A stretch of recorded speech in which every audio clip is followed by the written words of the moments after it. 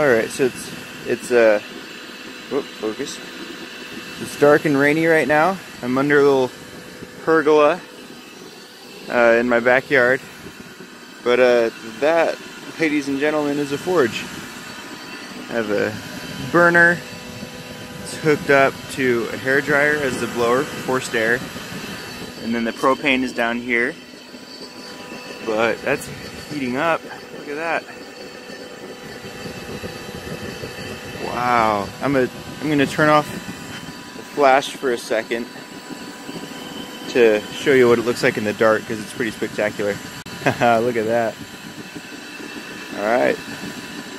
Cool, this has been Forge Test number two, I suppose.